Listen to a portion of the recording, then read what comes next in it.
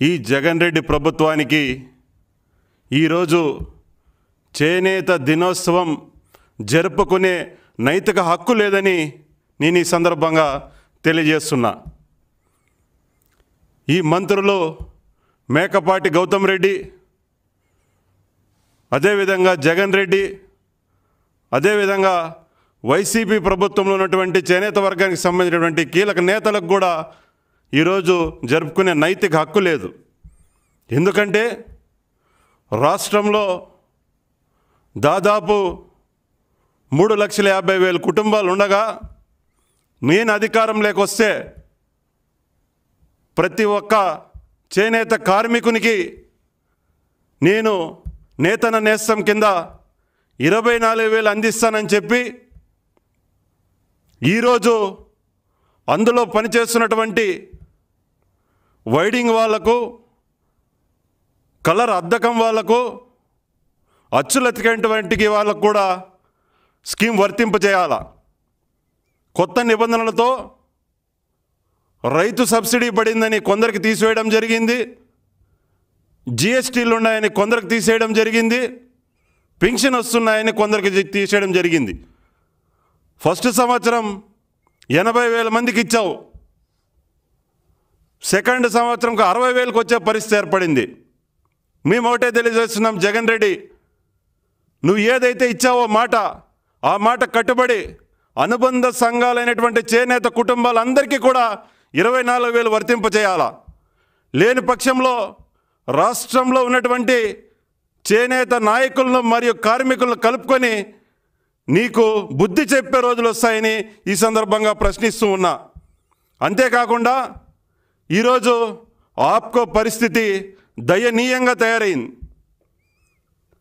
కొనుగోలు చేసినటువంటి మా చంద్రబాబు నాయుడు గారు ప్రభుత్వంలో కొనుగోలు చేసినటువంటి వస్త్రాలకు ఇంతవరకు నిధులు ఇవ్వలేదు.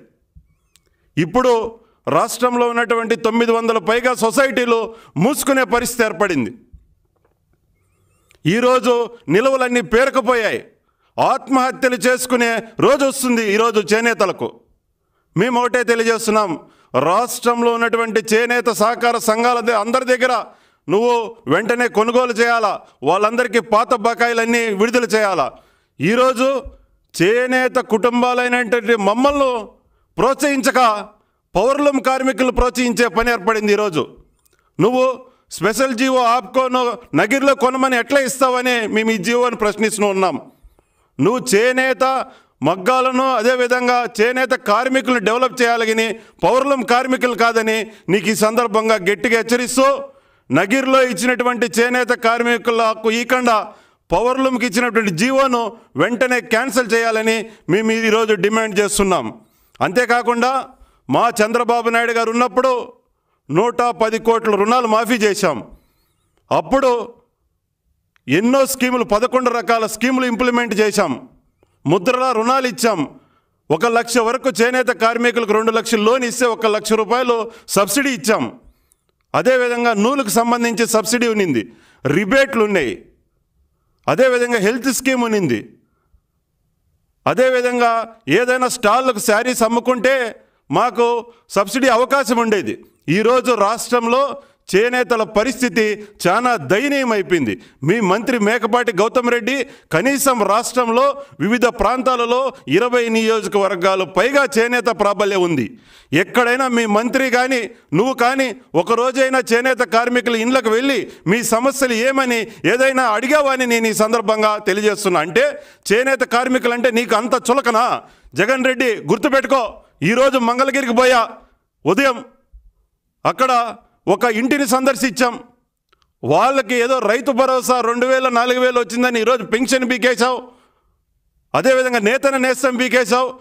ఆ కుటుంబం ఏడుపు ఏడుస్తూ ఉన్నారు ఈరోజు అంటే చేనేత కార్మికులు తెలుగుదేశంకు ఓటేశారని ఒక్క నెపంతోనే ఈరోజు సొసైటీల మీద దాడులు మంగళగిరిలో. ఏం వాళ్ళు ఏమైనా పాపం చేశారా? తెలుగుదేశం మా మా తెలుగుదేశం మా చంద్రబాబు నాయుడు గారు ఉన్నప్పుడు చేనేత సహకార సంఘాలకు అదేవిధంగా చేనేత కార్మికులకు ఎన్నో రకాలుగా సదుపాయాలు కల్పించడం ఘనత ఒక్క మా చంద్రబాబు నాయుడు గారికే దక్కుతుందని ఈ సందర్భంగా తెలియజేస్తున్నా.